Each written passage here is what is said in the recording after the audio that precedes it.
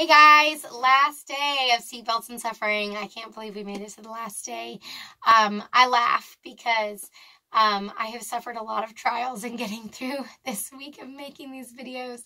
Everything has gone wrong, but God has taught me so much through it that I can honestly say I'm thankful. I'm thankful for the trials um, because I've been learning a lot. So I pray you all can say that as well. Um, today is goal day, which is super exciting. Um, I have a funny story to tell you before um, uh, we do anything else. Um, there was a time um, when we were fishing in my grandpa's boat. And it was me, it was my husband, who we were either first married or we were engaged. I can't remember. My sister and my cousin. And we were all in the boat um, out fishing, and the motor died, which it happened all the time. But we were quite a ways out. We were several miles out into the water. And so, um, uh, we're out there, we're in the water, and they're like, How are we going to get back?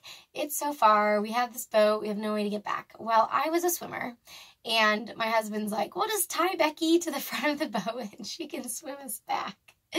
So he did. He I put on a life jacket and he tied a rope to the front of my life jacket and I jumped in the water and I swam the boat back. And um you know, we laugh about it now and we thought it was so funny. And I remember just being so exhausted and my husband squirting water in my face and be like, get back out there, you can do it. and I'm gullible um, and foolish, but uh, we, you know, we laugh about it now. Um, and that's sometimes life. Sometimes we ride in the boat and sometimes we end up having to pull the boat because the motor's dead. Um, but I just want to encourage you guys, we need to be ready to swim, right? We need to make sure that we are in good spiritual shape. So when those troubles and those trials and those temptations and those tests come, we are ready um, to conquer and to um, to grow instead of to fall apart. Um, so we know suffering's coming.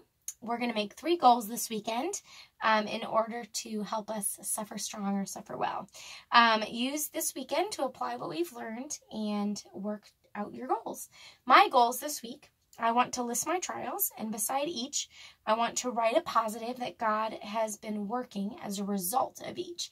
Um, so, not, you know, um, financially we're struggling, but, you know, God is still good. It's financially we're struggling, but because of our financial struggles, um, you know, we've learned to, um, you know, be better with money. So that would be a result of our trial. And that was just an example.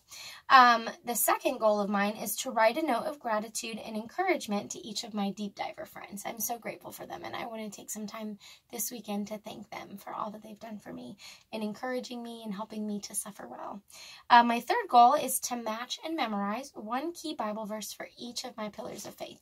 When I feel that I'm being tested, I want to make sure that I have scripture and word to stand on in those tests. So, write your own goals and share them on our Facebook feed. I would love to hear from you. Make sure to complete those goals before you move on to whatever we will be doing next week, which I'm sure will be crazy and fun. All right, let's pray. Thank you, Father, so much for this week of studying, for fellowship. Thank you for suffering, which is how we grow. Thank you for giving us the strength to meet our goals. I confess that I cannot do this alone. I need you, and you are enough for me.